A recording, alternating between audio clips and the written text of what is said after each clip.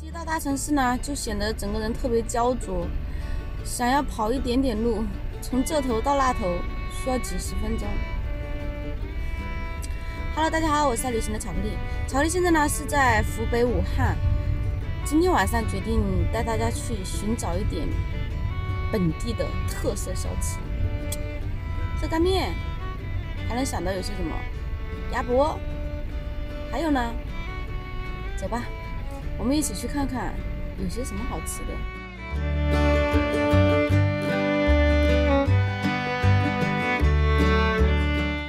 在路过这边呢，我看到了黄鹤楼，嘿嘿，打卡了。好吧，本来四十分钟的路程，硬是给我开出了一个多小时，各种迷路，各种乱窜。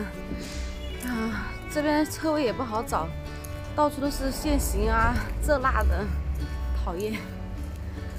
我现在是来到了户部巷的一个小吃。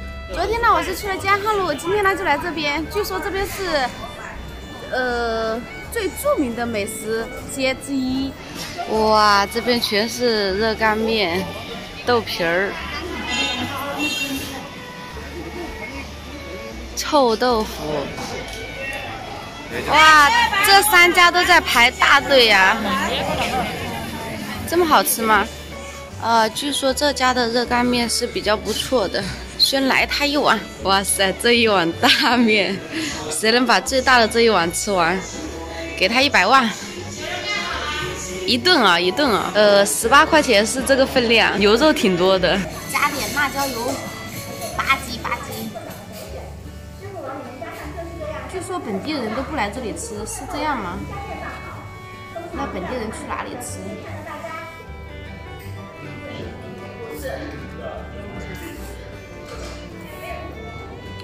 嗯，味道不错呀。三下五除二，走吧。开启下一场，好吧。这一碗估计干不完，干完了我等一会儿就别想吃其他的了。但是又不能浪费，怎么办呢？好纠结啊。就是这边的特色之一。嗯，也就这样吧，没热干面好吃。美女，帮我打包一下吧。这个等一会冷了还能吃吗？冷了之后，你要是有微波炉，把它转一下也可以。它冷了之后它会硬的，你用微波炉转一下。啊，谢谢。我干不完了，打包留着明天吃。我要留着肚子去吃其他好吃的。走吧，终极目标。金武鸭脖，这个鸭脖多少钱一根啊？五块钱一根。五块呀，来一根吧，要辣的。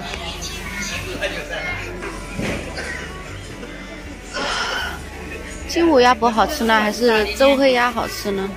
哇，看得我眼花缭乱的，然后我的选择困难症又犯了，还要吃些什么？了一根鸭脖，吃了一个，给我辣死了。我要来一根香蕉，这个怎么卖的呀？要不要一根？多少钱一根？十五啊。要一根吗？来一根吧。好像是这边的特色特色吃的。特色小吃，范围小吃。尝尝如何样吧。呃，这样的。专心服务现代农业，中国的云天化。你这个没有标价格吗？CCTV 最高是十五一个，你能问得到的，又不是我一家卖。啥度啥度？放个屁！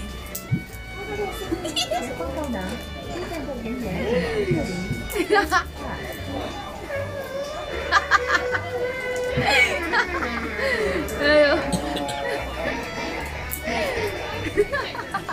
老板这也有小度，放这屁真长。这里面是米和香蕉是吧？香蕉、橙子、菠萝，加的香米烤出来的。香蕉、橙子、菠萝，加的香米烤出来。味道可以吗？我还以为只是香蕉呢。味道可以吗？嗯，还行吧。哇，这样两下就吃饱了。什么这个不是弄一个勺子或者筷子呢？是原生态的呢，返璞归真噻。这个叉子还原生态呀、你要原生态的话，就把这个这个竹签哎，最好是用那个。整过来，这这样才原生态呢。对等一会儿把嘴戳了怎么办呀？要慢一点啊，不会慌啊。哎，他们说做直播蛮赚钱是吧？嗯，超级的。你也做嘛？我做不了，你一个月搞多少钱？三百万，这么多你要来吓我吧？真的真的假的？真的。晓得晓得，关机。但是怎么样搞的？是怎么样赚这个钱？家里大哥多呀，我家大哥老多老多了。我我还是搞不懂是么样赚这个钱。好吧，再来一杯米酒。本来是十块的，老板给我优惠了五元武。松就是喝这个酒过的岗，啥？武松就是喝这个酒过的岗。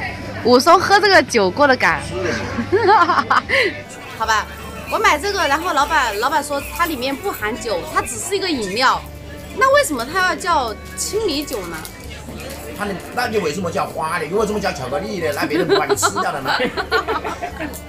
哟，什么还有两边的？这个呢是，呃，喝了，如果等一会儿我算酒驾了的话，就找老板。太甜了，不好喝，不建议买。这老板的香蕉，他十块钱一根，他非要五块钱一根卖给我。算了，看在你这么好的份上，就拿一根吧。